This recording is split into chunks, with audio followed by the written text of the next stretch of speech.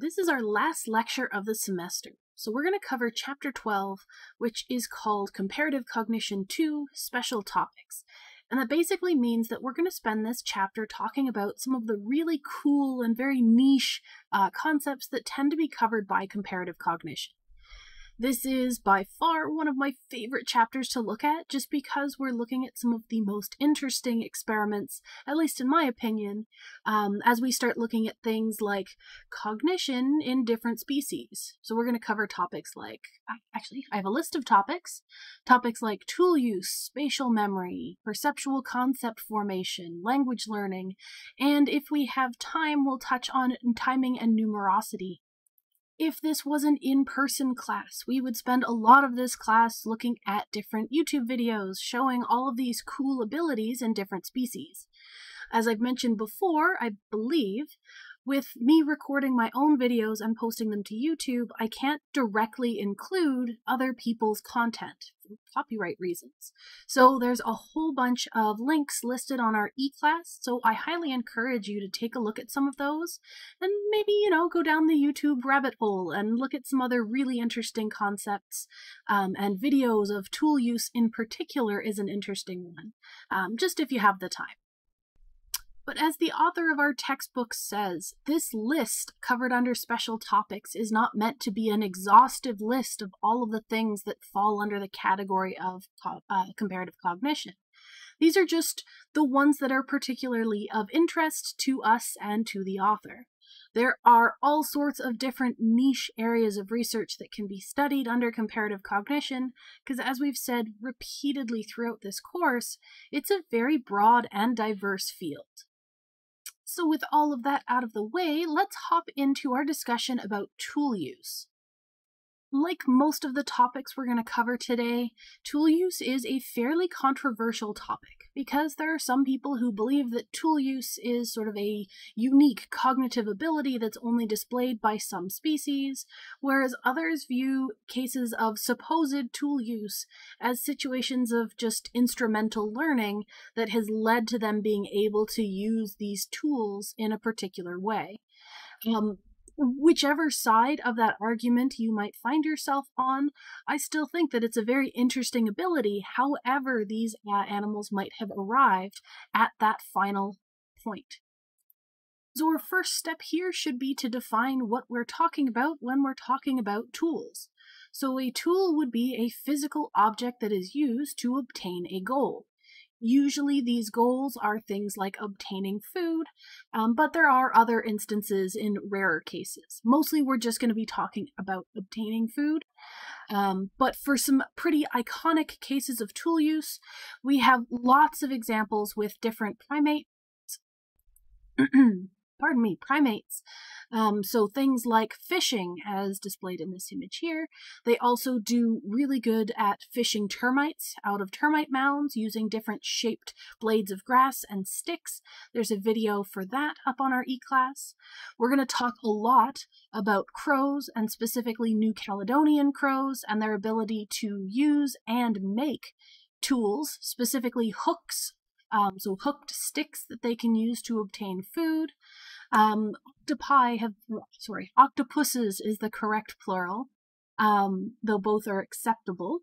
Um, they have been shown to carry around coconut shells that they can use as portable shelter. So this is a non-food related one, but they can use these shells that they drag with them to camouflage and look like a rock. One of the coolest ones that I just found out fairly recently is that there are a, a, particular species of wasps that use pebbles. So these wasps will make their nest, they will lay their eggs on some dead or paralyzed caterpillars, cover them up with uh, some soil, and then go off and find a rock, the correct sized rock for their purpose, bring it back to their nest, and use that rock to pound the earth flat, um, compact it just enough to cover off the eggs so that when they grow they can dig through the dirt, um, but not uh, so compact that they can't dig through it in the future. And I don't know what it was about wasps knowing somehow to go and get a rock, but that one freaked me out a lot more than uh, some of the other instances of tool use we're going to talk about today. But I figured if I have to know, now you all have to know too. All right, so when we're looking at tool use, um, most of the research, most of the ongoing research has been in either primates or uh, New Caledonian crows. And that's because primates are very closely related to humans, and originally tool use was thought to be a human specific skill. So over time, we are kind of expanding our definition and including more tool users. There's also a subcategory of tool use called proto tool use, where it doesn't quite meet the definition for tool use, but it's close. Um, so this is a very, very quickly growing field. We're just going to hit some of the very highest of high points because we could teach an entire class on tool use and still not cover everything that we could talk about. Um, so for the next couple of slides, there are a few videos, again, linked on our e-class that you can take a look at. I've just included some stills here. These videos are coming from a paper by Bird and Emery, and they've done many, many, many different iterations of different kinds of tool using scenarios with their captive population of New Caledonian crows.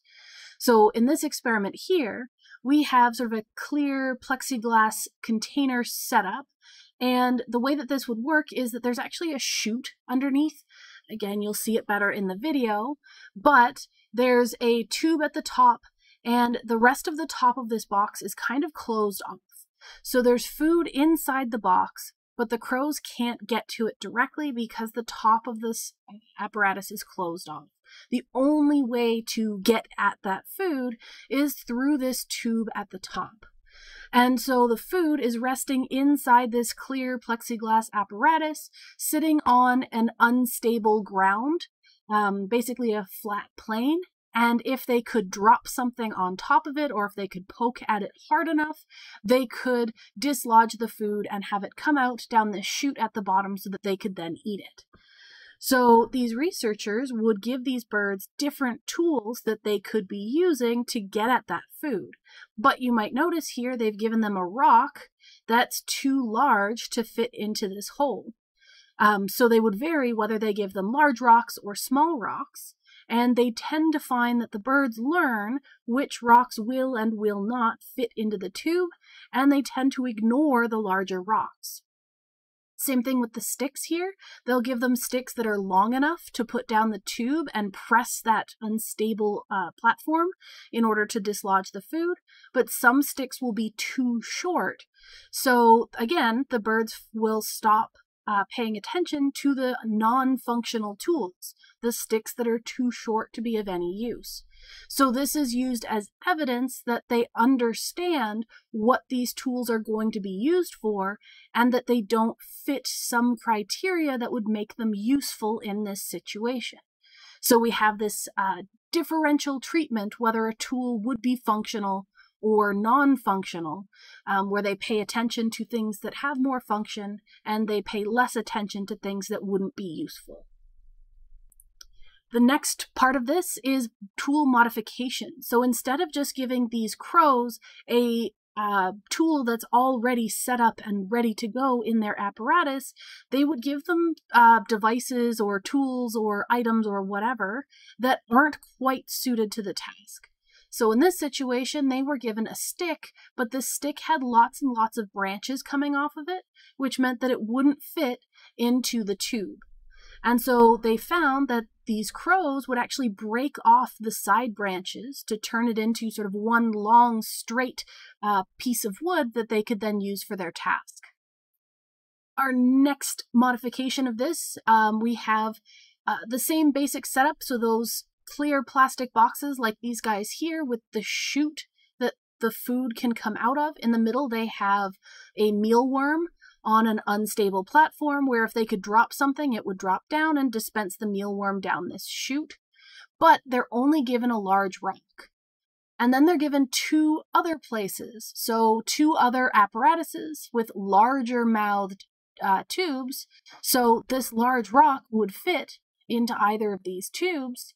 And they're given the choice okay, well, would you like to drop this large rock into this uh, apparatus or this apparatus, the only two that it'll fit in.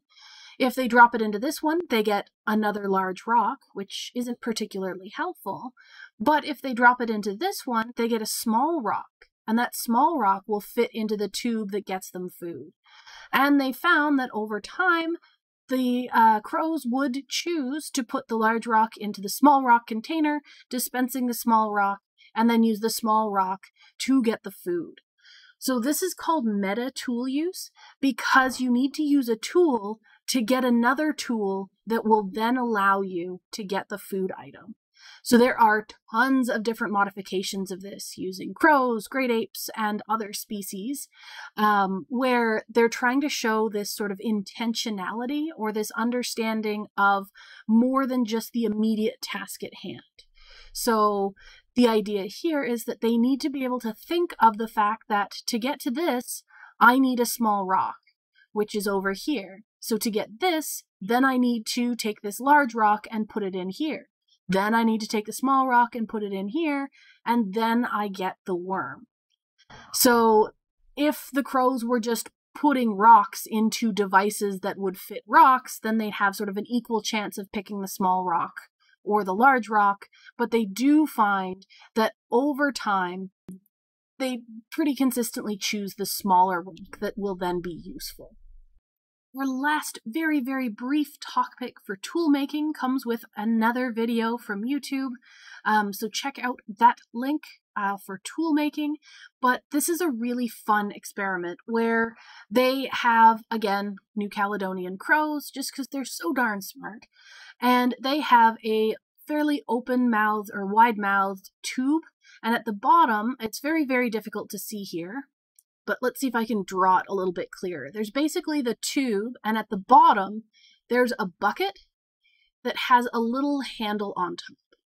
And so it's down too far for the crow to reach with their beak. Their beak is very short, so it would only come down to about here. So their beak can't reach all the way down. It stops about this high. But they need to be able to get to this bucket handle in order to get the food that's at the bottom. And the food is usually mealworms because it's a really appetizing food for them. And so what happens is that in the general experiment, the crows would be given hooks. So pieces of metal wire with a hook on the end.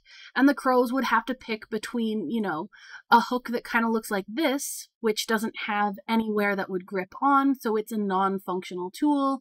They would be given straight sticks, they'd be given sort of very, very curvy sticks, and they'd have to pick the best one for the task. The anecdotal uh, story of this from the researchers is that somebody forgot to give them sort of one, uh, a tool that would successfully get the bucket. So they didn't get this tool. What they got was a bunch of sort of straightish ones or non functional ones.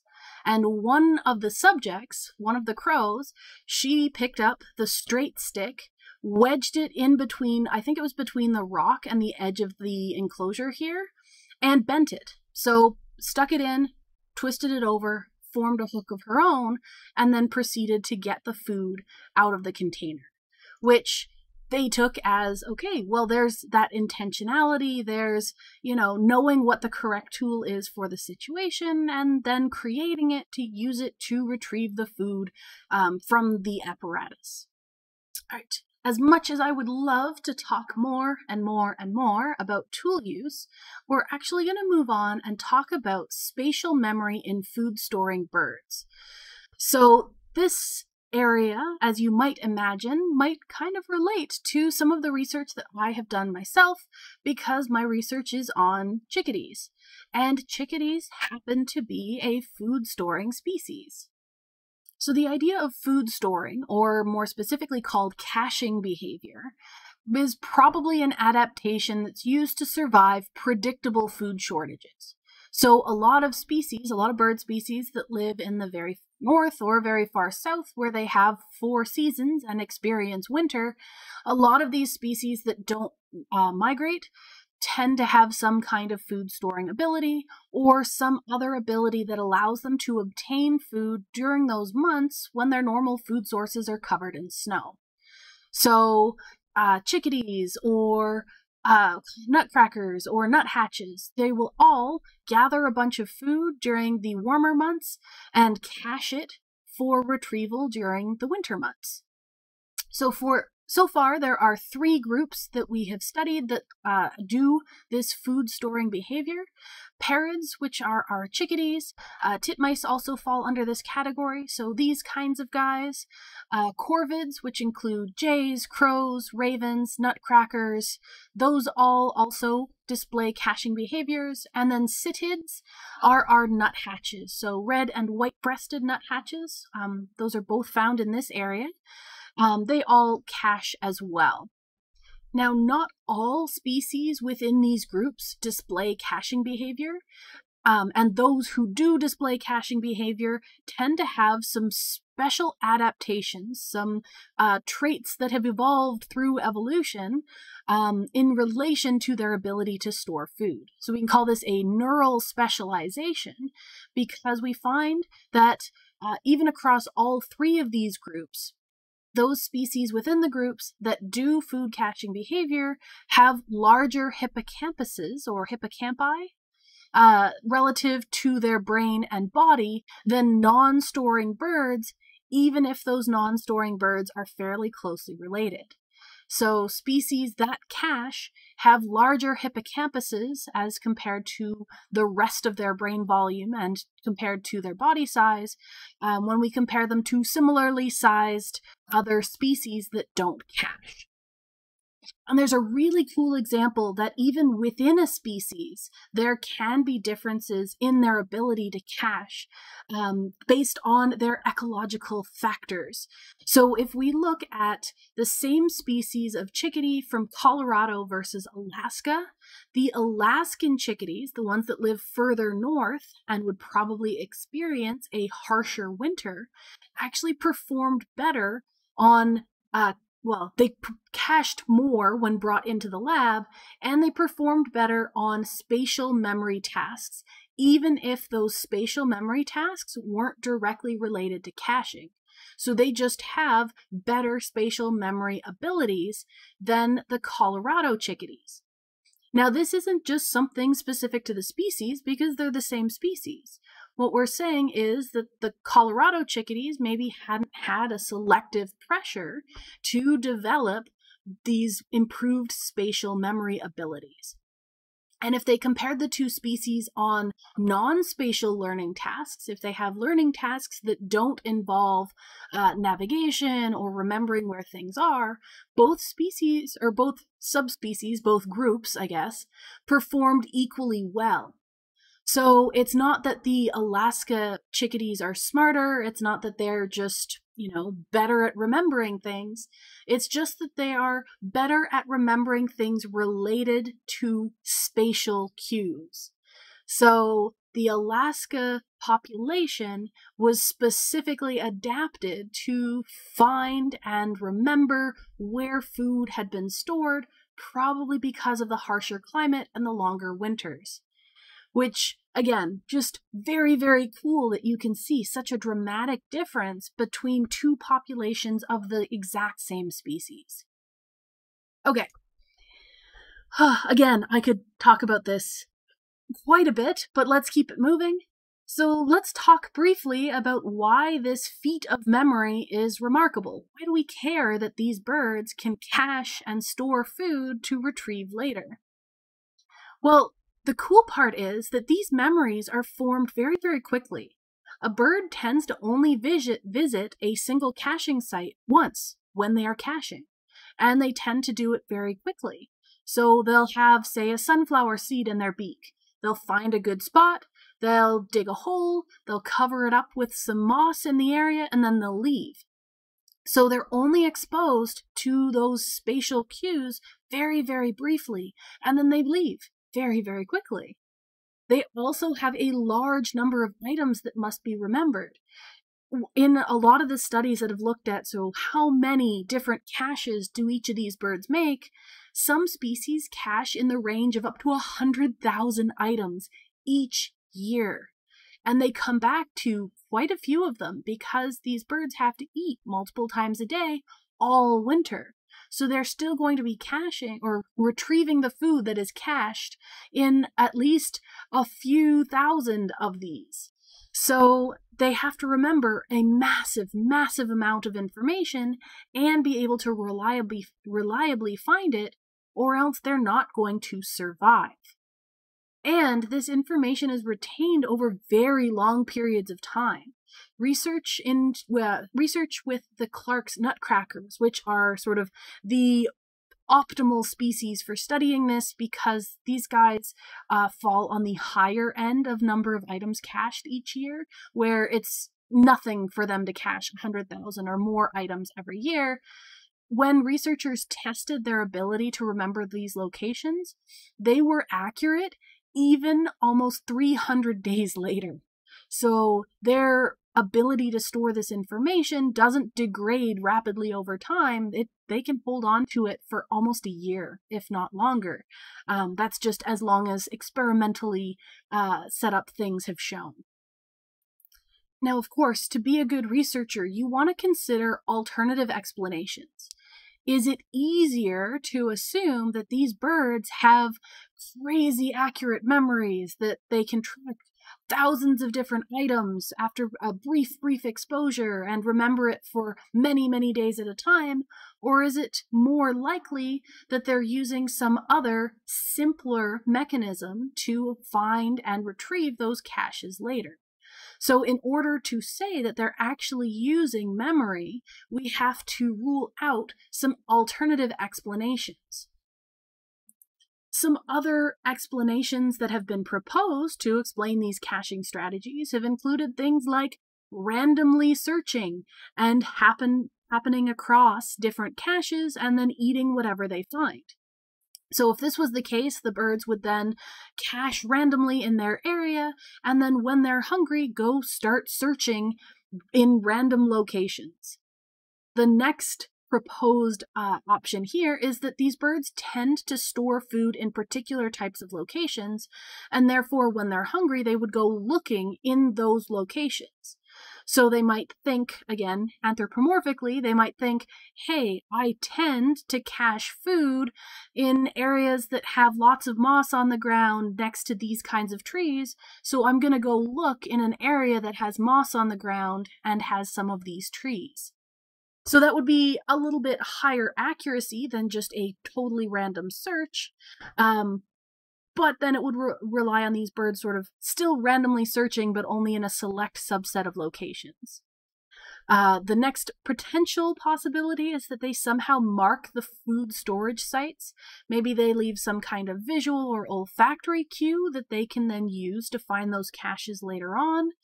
And then the last proposed option is that there are olfactory cues. So maybe the birds can smell the food that they've hidden and they use that to find it. Now, each of these possible strategies don't require the use of memory um, and are sort of simpler, I guess, as an explanation, which would go along with our whole parsimony idea where the simplest explanation is usually the best. So we would need to set up carefully controlled laboratory experiments where we could show that these are not what's going on. So we'd have to have very carefully controlled and manipulated situations where we can adjust, say, one or two different aspects at a time to determine if the birds are actually using one of these um, and go from there. So let's look at one of the experiments that was actually set up to try and do this. This was an experiment done by Kamil and Balda down uh, back in 1985, and these uh, this experiment was done with Clark's nutcrackers. So these guys, um, they're actually, uh, I believe this species is found in the air, well, not directly in our area, but if you head towards the mountains, you might be lucky enough to spot these guys every once in a while. But this species, uh, they live in alpine areas in the western coast or western area of North America. They tend to harvest seeds from pine cones, and they or, and they cache these little, uh, I guess, clusters of seeds. So three or four or five seeds at a time in a single cache, and they'll cache those towards the end of the summer, early autumn, and then in the winter they'll come back and retrieve those caches. So for this experimental setup, we have this uh, search area. So this is a top-down view where we're looking down onto a board that has a bunch of holes drilled into it. So there are 180 holes in this board, and the holes are filled with sand. So on the first day of the experiment, the experimenters would randomly select 18 holes that would be left uncovered. Um, the random bits and pieces and shapes that are on here would be different kinds of uh, debris or uh, things that they were using as spatial cues just to see if that's what the uh, birds were using. We can kind of ignore that. Um, but they would cover up most of the holes, but they would leave 18 of them exposed. So when the nutcrackers were brought into the enclosure and given food, in this case we were using seeds, uh, the nutcrackers would cache their seeds in 18 of those 180 spots. They then removed the birds from that enclosure and held on to them for differing amounts of time. The first part of the experiment that we're looking at was a 10 day retention interval. Actually, I have this on the next slide. So after 10 days, they allowed the birds to return, and this time, the holes that had been previously covered were no longer covered which meant that the birds had 180 different locations that they could search to try and find that food. Now, to try and control for some of the other possible things that might be happening from our list here, they wanted to see okay, are the birds searching at random rates? Are they just searching like one hole at a time? Are they searching randomly? Are the birds finding the the correct holes at uh, chan- or at rates higher than chance. So are they doing better than the 18 out of 180 uh, chance that they would have had if they were just randomly searching? Um, we could also check were they storing in particular types of locations? Do they tend to search? Um, uh, do they tend to search in a particular type of location?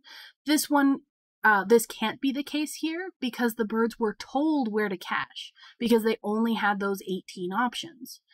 Uh, for marking food storage sites, after the experiment, when or sorry, after the stage where the birds had cached the food, the experimenters went in and removed the food and raked the sand flat. So there were no visual cues. That also removed any olfactory cues because there was no food present. So they controlled for all of these different aspects, which is why this is such an amazing study. And what they did find was that even though they controlled for all of those different factors, the birds were performing at above chance levels. They were going to the 18 holes that had previously had food in them, and they mostly ignored the other holes. The experimenters have done numerous iterations of this experiment, and this is where we actually get that idea or that understanding that these nutcrackers can still be accurate at finding those 18 cache sites even after 285 days. So they must be using spatial cues. They must be relying on um, the orientation of things in their environment, and they can't be relying on any of the factors that people had proposed as alternative explanations, which, again, so cool. So this tells us that the birds can know where they have cached things, and they can remember for long periods of time. But we might want to know can they remember when they cached something? If they can remember for 285 days, well, maybe we need to know if they can remember did I cache that this year or was it last year? Or was it the year before? Because maybe their food might have gone bad after all of that time. So, we're going to introduce this idea of timing, which I think, based on our timing in this lecture is probably going to replace our discussion of timing and numerosity, but that's okay. Um, we're going to introduce this aspect of time to talk about um, knowing where things have been cached, maybe also knowing what has been cached, and knowing when you cached it. And we're going to care about this because if you're caching multiple types of foods, some foods don't keep as well as others.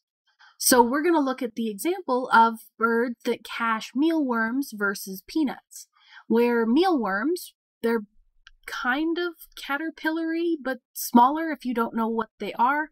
Um, they're basically a larval form of a beetle.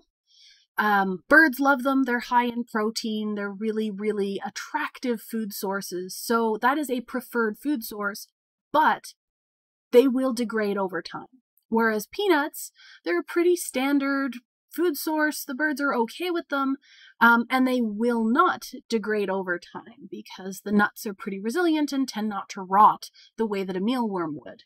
So, if we introduce this aspect of some foods will degrade over time, we can evaluate what these birds know about timing or when something was cached. So, we're going to adapt this paradigm of food caching and recovery in order to study episodic like memory in birds. So, for episodic memory, we're talking about memory for a specific event or episode, our ability to remember something that has happened to us in our past. It's fairly simple to study episodic memory in humans because you can just ask them, hey, do you remember that time when X happened? And they can describe it to you. But in non human animals, it's a lot harder. So, this is why you'll usually see it called episodic like memory, because we can't quite be certain that it is actually episodic as we think about it in terms of human research. But in order to call something episodic memory, we determine that it has to have three components. It has to have a what, you need to remember what was done, you need to remember where it was done, and you need to remember when it was done. So you need to remember all three aspects. The next specification is that these three W's need to be integrated, meaning that you use knowledge of all three of those things at once. And the last point is that the use of those three W's must be flexible, meaning that you can use it to solve problems other than those you encountered at the time that you are remembering. So this is all kind of abstract, but we're going to walk through again a really cool study that helps illustrate exactly what it is they were searching for in this definition of episodic like memory in non human animals. So we're going to look at scrub jays. So these fall under the family of corvids because all jays are corvids. As with most bird species, these jays prefer to eat worms over peanuts, so if given the choice, they would choose to eat and cache worms over peanuts when they're given that option. The experimental setup throughout this uh, or this experiment here is going to be using these ice cube trays, kind of like our uh, setup here where we have the holes drilled filled with sand. These ice cube trays are filled with, I think it's just wood shavings. Um, but they would give these jays these trays and allow them to cache whatever food they were given. And these look like mealworms, I think, but it's a really grainy picture, so it's hard to tell. Um, and these blocks are here not just to be fun, but because this distinctive arrangement of blocks would allow the birds to identify which tray they had previously cached in.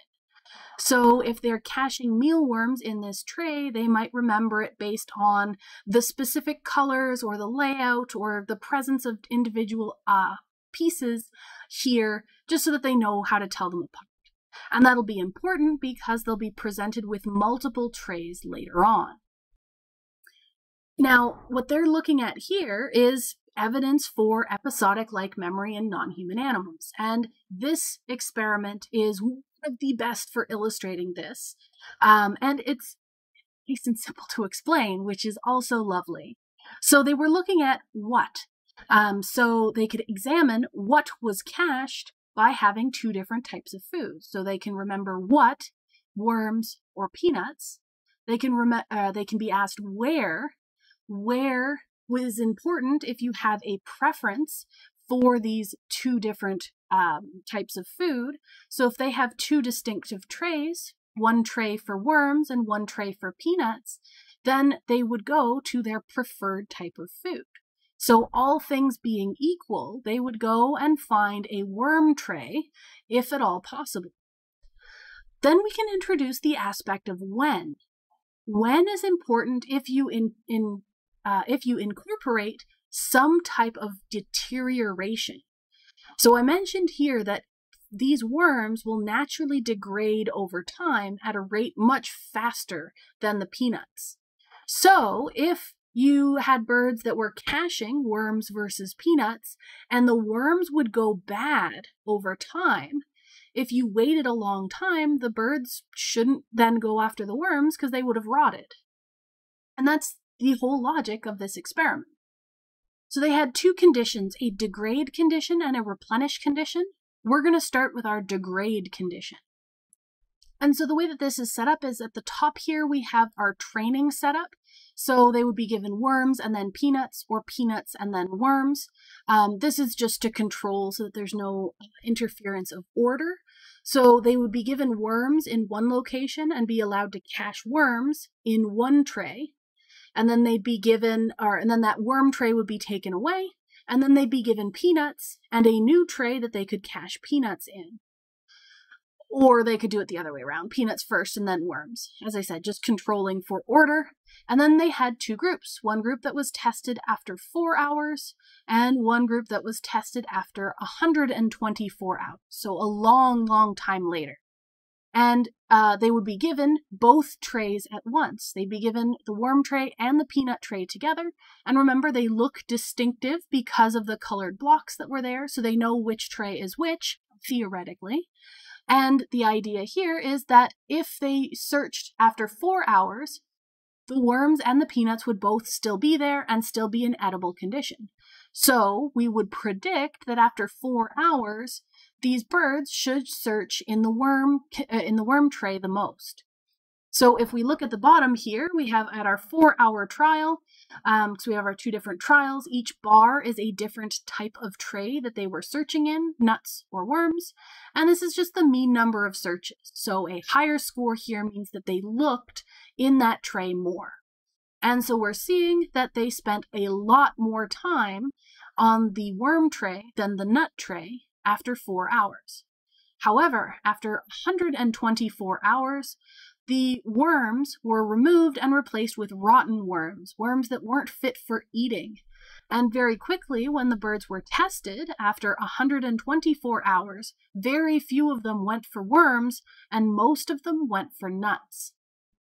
Now, it's important to note here that they did the same thing with the previous experiment, where in the testing phase, um, when they brought back the trays after this association had been learned, they did it with fresh, uh, fresh dirt or fresh sawdust and no food items present, just to make sure that they weren't just odor cues or whatever.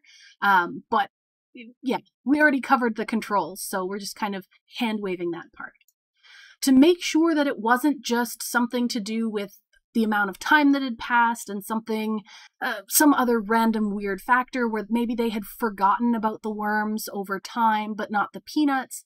They did the same thing, but during the training stage, they replaced the original worms with fresh worms. So there's no degradation here. So this is the replenish condition. And in this replenish condition, everything is identical except that the worms didn't rot. And we see that the birds preferred to search for worms at 24 hours and 124 hours because they prefer worms. So as long as the worms don't rot, they're still going to go and search for worms. And there's another sort of hand wavy thing that we're going to talk about here where they wanted to make sure that there wasn't anything else weird going on. And they did a, a an iteration of this where after 4 hours the worms had rotted, but after 24 or after 124 they hadn't. And the birds then learned to have peanuts after 4 hours and worms after the longer period of time. So they're learning that timing, not just some weird association with worms and time. Um, so, phenomenal experiment that helps illustrate that these birds know what, where, when uh, for these worms, or for this setup. So, as our summary, all groups searched for worms more than peanuts after four hours if the worms were still whole um, the deterioration group searched for more for peanuts than for worms after the long period of time. The replenished group continued to just go for worms after the long period of time. So the birds remembered what they had cached peanuts or worms, where they had cached it, which tray has the worms and which tray has the peanuts, and when they cached it, because um, they adjusted their behavior based on how much time had elapsed. And there's some technicalities of maybe not specifically when, but they do remember how long ago, and that seems to be sufficient for some people. Okay, so next we are going to talk about perceptual categories, and specifically forming and using perceptual categories. So we can talk about categorization and concept learning, and we're going to find very, very quickly that this is actually fairly similar to something that we've already talked quite a bit about. So, for example, back in chapter 8, we talked about stimulus equivalence training, where you would generalize your responding from one thing to multiple things that were fairly similar to the first thing. So, that's closely related to categories. So the idea here is that natural stimuli never occur the same way twice. You can see a cloud and then look in a different part of the sky and see a different shape, but you know that it is still a cloud.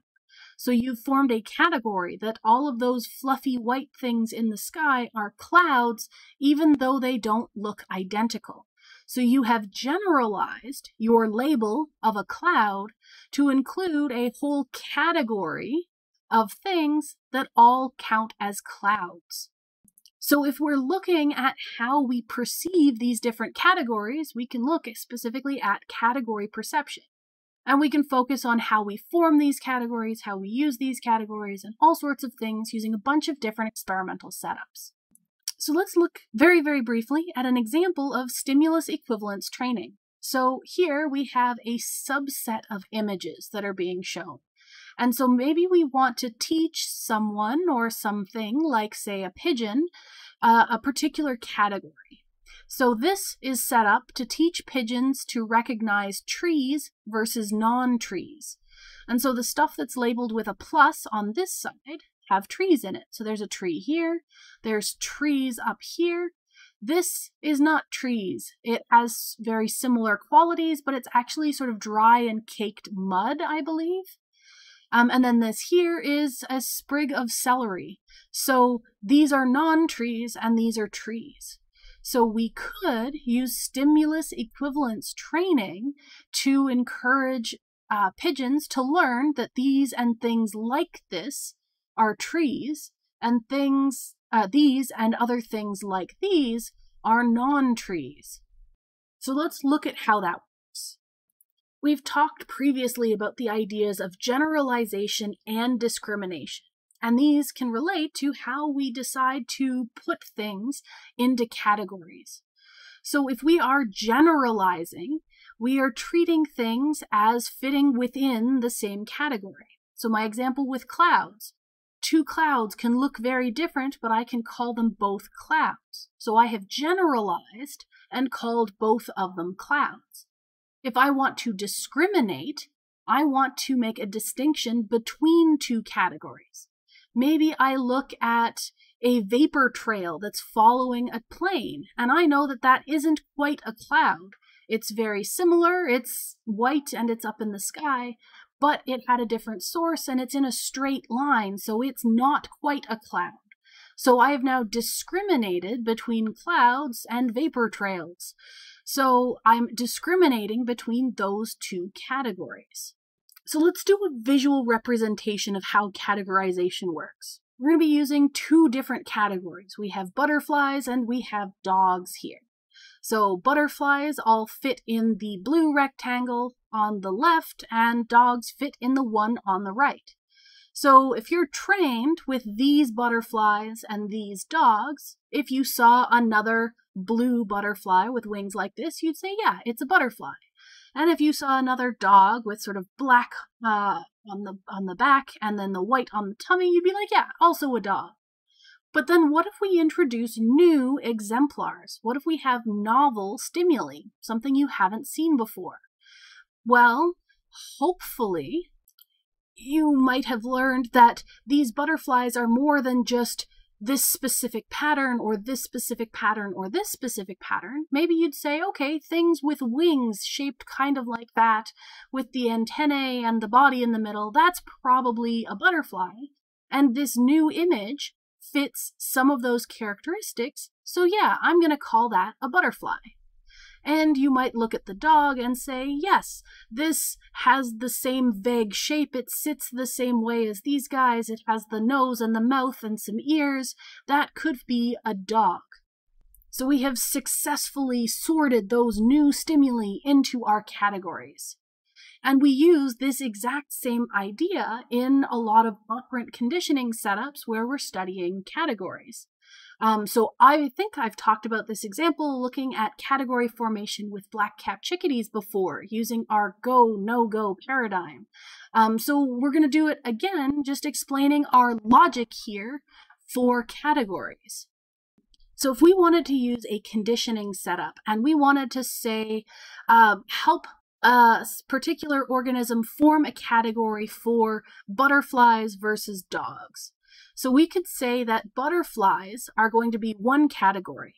And anytime you see a butterfly, if you make a response, if you're a chickadee and you fly to the feeder, you get food. If you're a pigeon in a box and you peck the key under the butterfly picture, you get food.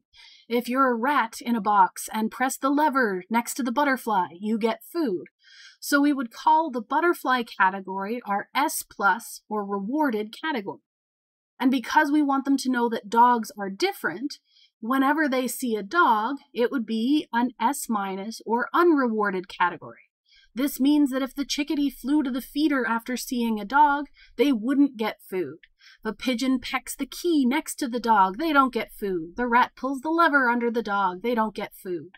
So, in this way, they learn that butterflies are rewarded, dogs are unrewarded. And so we're encouraging them to learn that all things that kind of look like this are good and get them food, and things that look like this are bad and don't get them food. And again, I'm oversimplifying and anthropomorphizing a bit, but just to try and help us understand the concept. And so this setup encourages uh, category formation because instead of having to remember this specific wing pattern and this specific wing pattern and this specific pattern and this pattern and that pattern, you could just learn that things that have wings shaped like that and bodies in the middle and antennae, they're all butterflies. That rule is a lot simpler and it applies to everything in the category. With dogs, you could say, you know, four legs, tail, ears, and a face. Cool, it's a dog those rules would apply to the whole category, and you don't have to remember each individual dog that you've seen. We can then uh, sort of manipulate this in our experiments by introducing what's called a pseudo category. So these were true categories where the S plus group, the rewarded group, was all one category. They all fell under one rule. And the S minus group was all one category, fell under one rule. And of course, we would have controls where you switch them, where some would be rewarded for dogs and not butterflies, but for simplicity's sake. All right, so in our pseudo category group, we remove that category ability. Now there isn't a single rule that applies to everything that you're being rewarded for. So here you're being rewarded for these three butterflies and these three dogs but there isn't a general rule that you can use to remember this category, which is why we're calling it a pseudo category because it's not really a category. It's just a group that we now have to memorize in order to remember what we get food for.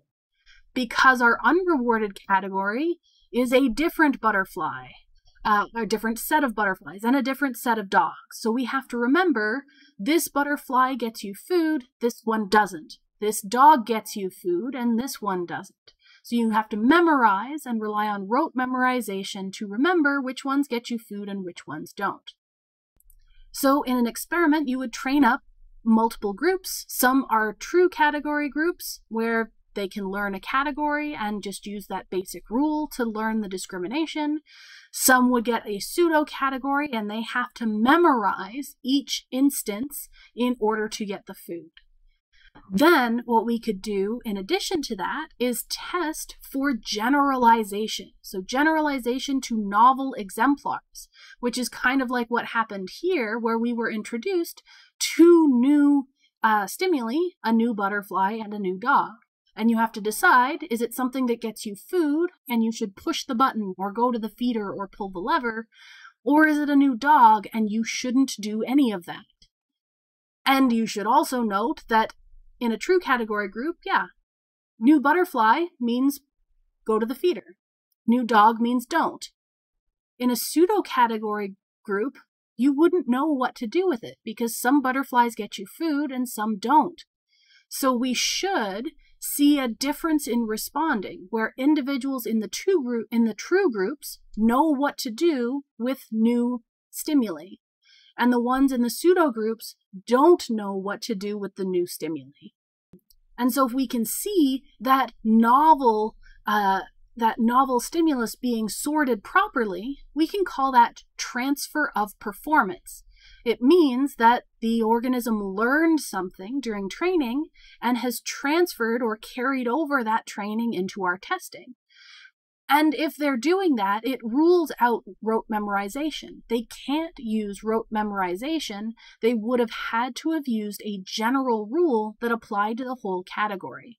So if we see this kind of performance in a true group where they were able to categorize something they'd never seen before, we can say they weren't relying on rote memorization and they must have treated these stimuli as the same category and therefore must have had some kind of rule that applied to everything that fit within that category. So, this evidence of generalization to novel exemplars is critical for demonstrations of perceptual concept learning because it's telling us that there must have been some kind of concept, there must have been some kind of category and rule that allowed them to make that choice. Okay, so let's look at a chickadee example again, of course. So for this experiment, instead of using butterflies versus dogs, we're going to be using auditory stimuli. And this is a study that was done in the lab that I did my research in, in Dr. Sturdy's lab. Um, but this was done by Bloomfield, Farrell, and Sturdy back in 28 or 2008. Ooh. All right, so they're looking at black-capped chickadees. These guys over here, they sound like this. Um, and so this is what their vocalization looks like. This is a spectrogram, so frequency on this axis by time. It's just a visual representation of what their vocalizations sound like. Um, and then the other group would be our mountain chickadees. They sound like this. And that's what a spectrogram of their vocalization looks like. So they sound fairly distinct. And we wanted to ask is do these chickadees have the ability to discriminate between black-capped chickadee calls and mountain chickadee calls? And do they form distinct perceptual categories for each of those types of calls? Basically asking, are they able to use true groups, uh, or are they able, if given true groups, to form a category and treat novel stimuli vocalizations they haven't heard before as either black cap or mountain chickadees? Um, or are they relying on rote memorization? And we're going to use the same exact setup that we just looked at with our dogs and butterflies, where we have a true group where some are reinforced or um, given food for responding to black cap chickadee calls, and not reinforced or not given food for responding to mountain chickadee calls. We would also obviously do the opposite.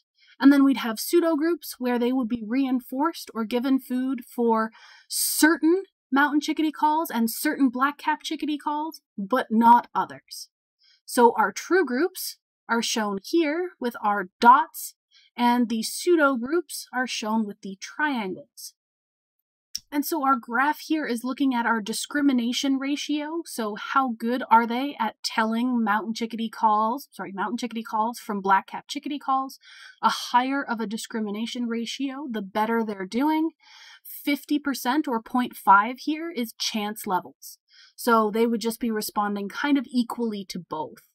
And this is uh, our timing across the bottom, just for number of trials. And so we can see that our pseudo category group here is staying pretty close to 50%.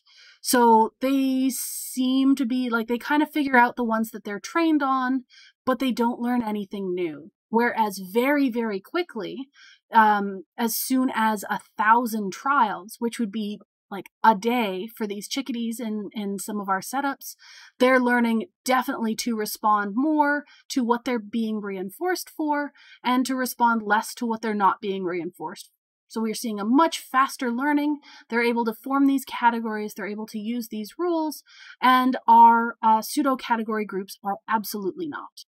So you might be asking yourself, how are they doing this discrimination? So what mechanism is driving this? There's a bunch of conflicting ideas. Um, I've kind of used the idea of the feature theory, saying that members of a category have a common feature. So when I was talking about butterflies have wings and a body in the middle and some antennae, those are all features that are consistent between the different members of that category. We have a polymorphic rule where there are usually multiple features that are used to determine if something fits into a category. The more features that you have in common with that category, the more likely you are to put that item into that category. And we can also, uh, the textbook talks briefly about higher level concepts. You can discriminate between things that are natural versus artificial.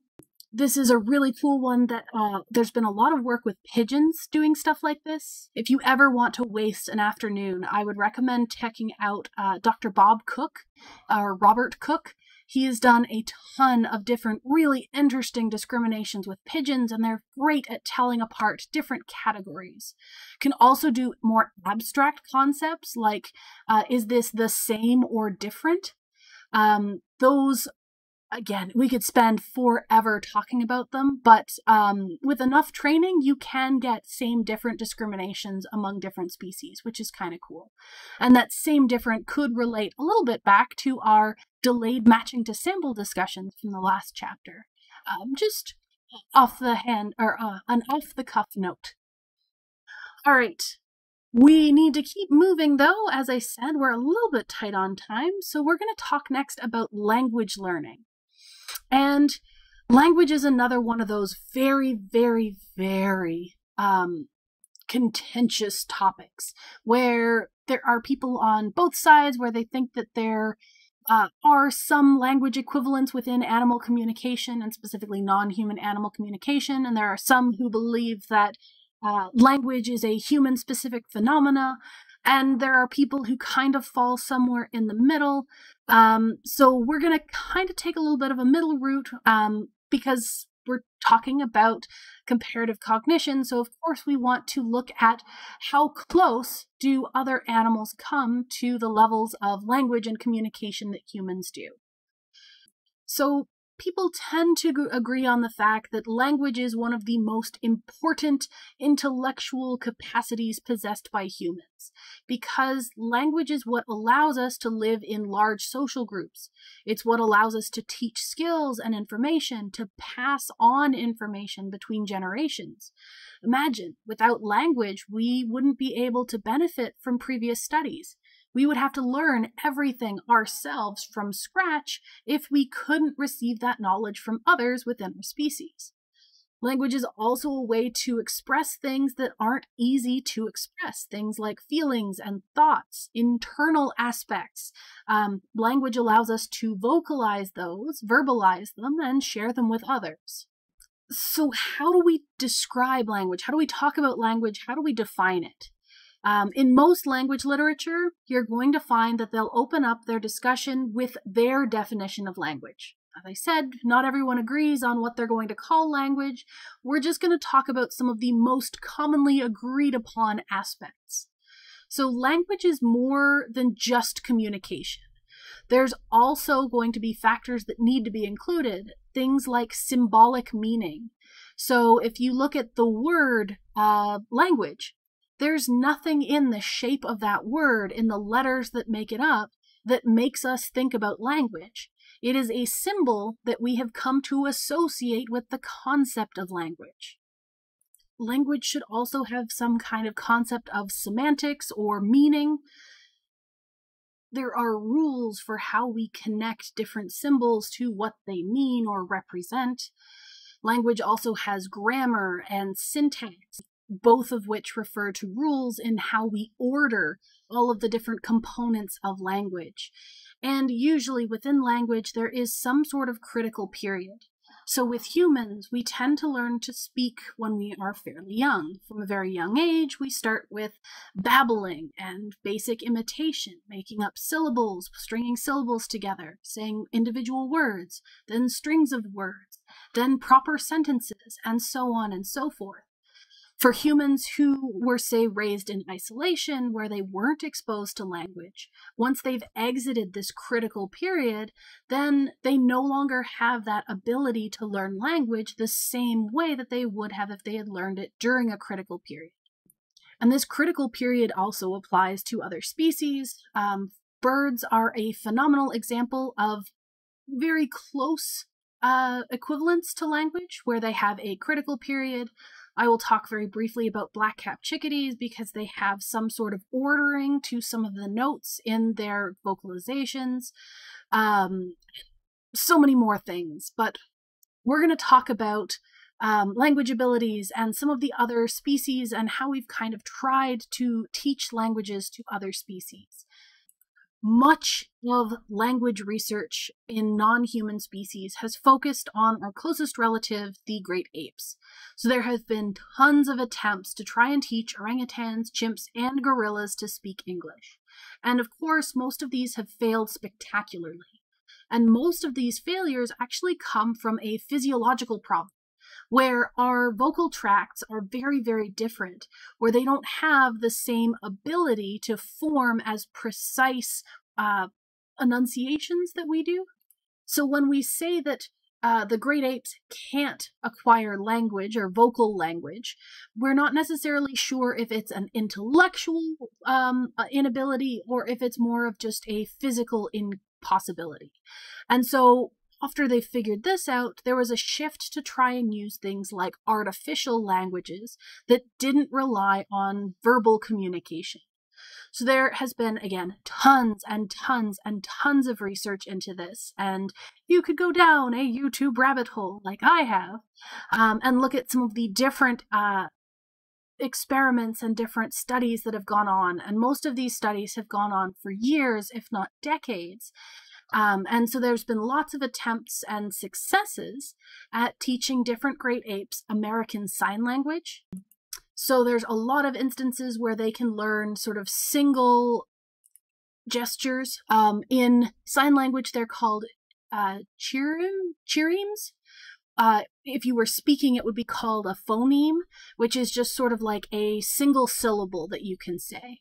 So these cheremes are single gestures, and there's been a number of different, um, these are names of specific apes that have been able to learn um, these different phonemes or gestural equivalents. So Washoe, Nim, and Loulis are three different chimps. They know for sure that Washoe has uh, 180 different gestures that they've learned, Nim 125. Um, I couldn't find any descriptor for Loulis, but they would test this by, say, giving a gesture and asking for an apple, and then if the ape passed them an apple, they would say that they understood what was asked of them.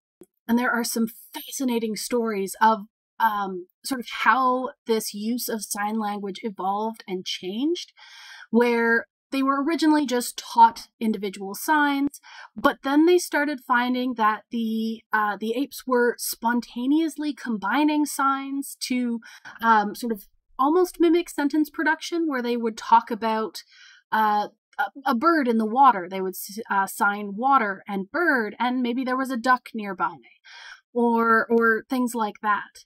Um, and they even expressed things as abstract as grief when one of them had a, one of their offspring pass away. And the really cool relationship here is that Loulis was actually um, taken in at 10 months old and was adopted and raised by Washoe. Um, and so the signs that Loulis knows didn't come directly just from humans, but also from interacting with and learning from the uh, his, I believe it's a him, um, his adoptive mother. So this is something that's showing being passed on through uh, different generations, which is so cool. Um, okay, I have to move on again. Um, there's also been uh, artificial languages based around plastic tokens, where the tokens would uh, vary in shape, size, color, and texture, and they could be associated with different meanings. So you could pass along a token, and that token means uh, one type of food versus another. Um, and there seems to be some kind of comprehension that way. We can have lexigrams over here. Um, this is, again, mostly just in great apes. Um, but these lexicograms are symbols. So this is a whole bunch of different symbols, and these symbols would serve as words. So to communicate with an ape who knew how to use these symbols, they merely had to point or gesture to each of the symbols. And so they could say, point to the sign that means water, and they could uh, point to the sign that means uh, food to say that they wanted a meal or something like that. And there was even some evidence of them understanding spoken English where you could talk to them and have them um, sort of imitate what you told them to do. And this one is very interesting because this individual, Kanzi, was able to understand spoken English that was talking about doing something sort of in a displaced location. So they were told, take the potato outdoors, and they knew that they were being asked to do something elsewhere. So they picked up the potato and went with it. Um, so that displacement is very interesting because that's one of those uh, proposed as specific to humans kind of aspects of language, but not quite. Uh, so yeah, lots and lots of interesting things with these artificial languages. So, as I said, that's mostly done with great apes. There has been more recent uh, efforts to look at language abilities in other species. So, dogs, parrots, and dolphins are another growing field. Uh, maybe you've seen some of the videos going around lately with dogs who are communicating with their owners by pushing buttons that speak words. Um, that's a very, very interesting uh, new development. Um, there's, of course, the fact that dogs can respond to spoken commands. They can sometimes follow visual cues. You might be able to train a dog to follow a point or a gesture. Um, all sorts of different things that dogs can do. Parrots are absolutely amazing.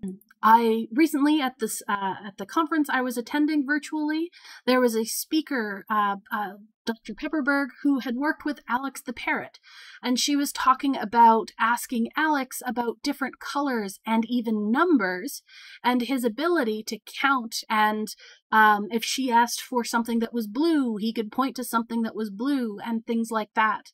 Um, I would absolutely love to spend time on her research, but all I can do is point you in the right direction, and maybe you're interested in that as well.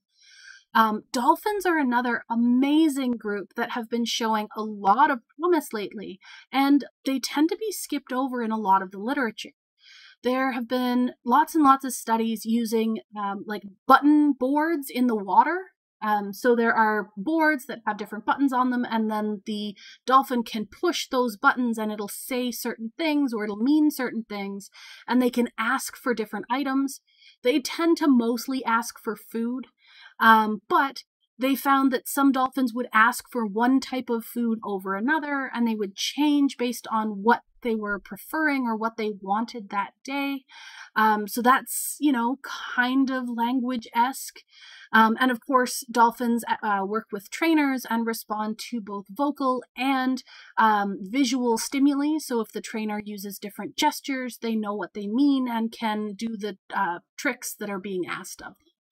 So there is some ongoing, well, some, lots and lots of ongoing research into sort of pseudo languages or proto languages um, in other species. But what seems to separate these proto languages from what we might call true language with humans is that we have issues with grammar. Um, so even though a lot of these individuals have shown the ability to string words together. There isn't any predictable grammar to it. There isn't necessarily any set order in how things are presented. There aren't rules in how things are combined. It's also very difficult to analyze because most of these studies are being done on one or two individuals at a time.